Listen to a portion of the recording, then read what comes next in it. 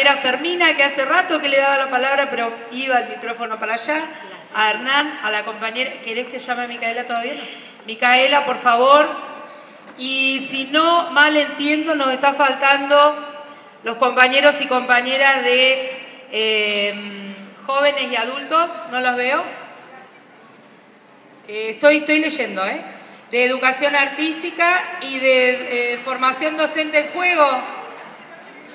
No, me estoy preguntando a mí misma, estoy leyendo, basta las dos. Sí, pero estoy llamando a Micaela Estoy llamando a Micaela, que es de, de, contexto de encierro, para que acompañe a su compañera Cecilia, si por favor se puede acercar. Allá viene.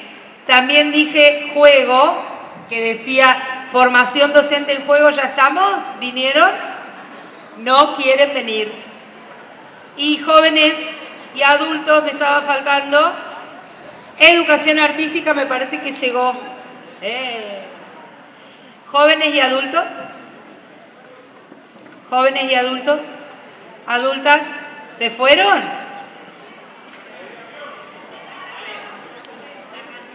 Listo, Fermina. Eh, mi nombre es Fermina Rivas y mm, estuve en la mesa del nivel terciario donde habíamos hecho una especie de revisión eh, para historizar el, proceso de producción y de conformación de la mesa curricular.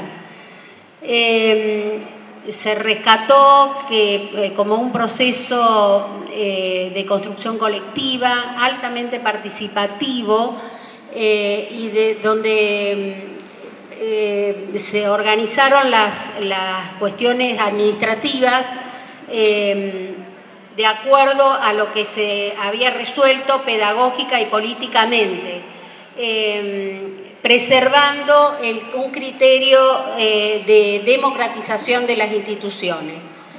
en realidad, después de, ese proceso, la propuesta era de, ese primer momento, la propuesta era que eh, se armaran tres grupos y se discutieran. En realidad la discusión fue muy breve y se empezaron, se esbozaron las primeras discusiones porque el tiempo no fue suficiente. Eh, hay un reconocimiento, lo que surgió de esas comisiones es eso, un reconocimiento de la estructura curricular como una estructura procesual, evaluable, dinámica, revisable en proceso, no monolítica, eh, pero que es necesario buscar espacios para establecer acuerdos con las escuelas para mejorar residencia. En otras, en otras comisiones aparecía la necesidad de profundizar el trabajo, el acuerdo con las escuelas o el trabajo eh, colaborativo. Proyectar los EDI como espacio de extensión propiciar espacios de encuentro, discusión y socialización de experiencias dentro de los IFD. Eh, hay que aceitar la articulación vertical y, los espacios curriculares que se corran efectivamente del formato tradicional. Hay una propuesta interesante de volver a pensar la mesa curricular para el desarrollo curricular. Y en esto la necesidad de discutir, bueno, el lugar de la investigación, la función de la investigación, de otros espacios que se crearon y otras funciones de los institutos de formación docente y que por mm, eh, cuestiones este, fundamentalmente presupuestarias y de definición política del gobierno no se llevaron a cabo, no se le dieron continuidad. Eh, después de, la, de, cerrar la primera etapa del proceso de, la mesa curricular. Entonces, las demandas concretas son generar un espacio eh, semejante al de la mesa curricular para el desarrollo curricular. Y en este caso, pedirle al sindicato que em, convoque para garantizar el trabajo organizativo y colectivo en todos los procesos que vienen de discusión, de investigación, extensión y creo que nada más.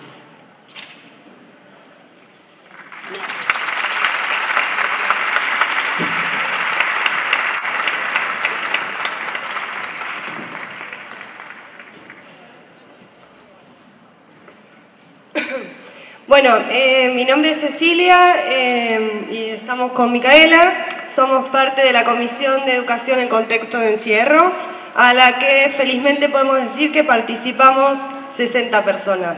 Todo un triunfo.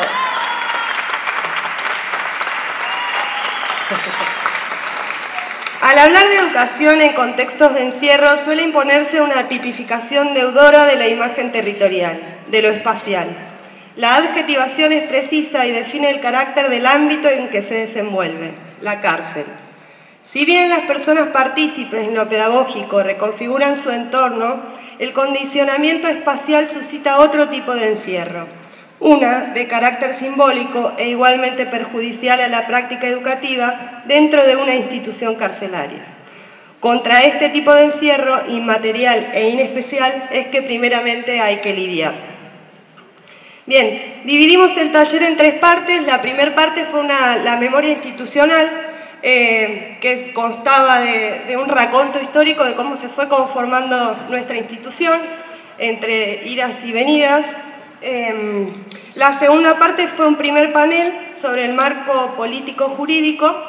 Em, y finalmente la tercera sí tuvo que ver con, em, sí tuvo que ver con nuestra práctica pedagógica. Eh, y bueno, a, partir de ahí fue hablar entre nosotros y manifestar una necesidad que es clara, que es que eh, tenemos que tener espacios para poder expresar esto que es nuestra práctica en esta institución tan compleja.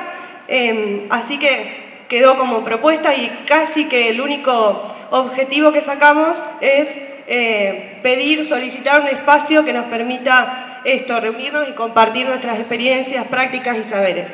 En función de eso, algunas de las, de las conclusiones que no tuvimos acuerdo, tuvimos disputa por suerte, eh, y no acordamos en nada. Bueno, eh, trabajamos básicamente sobre las experiencias de eh, ESI, teatro, invulnerabilidad e inalterabilidad. Esto como ejes generales. Voy a tirar las preguntas rápidamente. ¿La educación en el contexto aumenta la invulnerabilidad de los y las estudiantes? Estas preguntas se las tiramos para aquellos que puedan reflexionar después y devolvernos alguna pelota. Eh, ¿Consideramos la educación en contexto de encierro como parte de la pedagogía para la emancipación? ¿Cómo afecta un cuerpo, una cuerpa dentro de la institución cárcel? ¿Cómo hacer para que todas y todos participemos de la ESI y que no caiga solo como tarea de las feministas? ¿Qué les pasa a las y a los trabajadores de la educación que ponen el cuerpo en las cárceles de varones o en las cárceles de mujeres? ¿Cómo se trabaja ESI con los delitos sexuales? Ante el avance de la derecha, ¿cómo frenamos el accionar policial represivo dentro y, fuera de las unidades? ¿Somos una escuela igual a las de afuera? ¿Queremos ser una escuela igual a las de afuera? ¿Podemos ser una escuela igual a las de afuera? ¿El teatro forma parte de una práctica pedagógica emancipatoria? ¿Cuáles consideran que deben ser los objetivos de la educación en contexto de encierro? Listo. ¿Cuántas preguntas, por favor? Ahora vamos a escuchar a la Comisión de Educación Rural. Hola. Buenas tardes para todos y para todas. Soy Hernán Ulloa, de Villa del Chocón.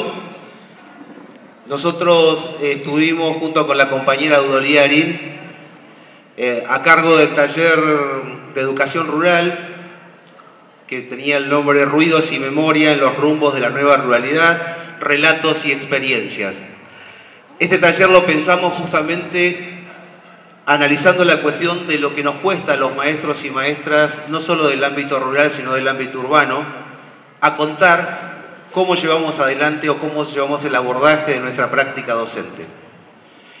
En este taller quisimos en primer, pusimos en primer plano la importancia del trabajo docente, resaltando la significatividad que poseen los relatos y narrativas que dan cuenta del desarrollo de prácticas pedagógicas enmarcadas en los, en los contextos en que las mismas se desarrollan. En el marco de las narrativas de este taller sobresalen o quedan a la vista diferentes conceptos y concepciones que necesariamente debemos abordar para determinar un posicionamiento político pedagógico contemplando la justicia curricular. Esos conceptos que se plantearon, que necesitan desarrollarse, abordarse y definirse, enumeramos algunos. Interculturalidad, trabajo docente, función de la escuela como institución del Estado, territorio mapuche, derecho de los pueblos originarios, transhumancia. Se abordaron instancias muy enriquecedoras que favorecieron el intercambio de experiencias y palabras. Y cerrando este taller nos hicimos dos grandes preguntas. ¿Qué acciones pedagógicas hacemos desde las instituciones en favor de los derechos conseguidos? ¿Y qué acciones pedagógicas llevamos adelante dentro de las instituciones que coartan esos derechos conseguidos?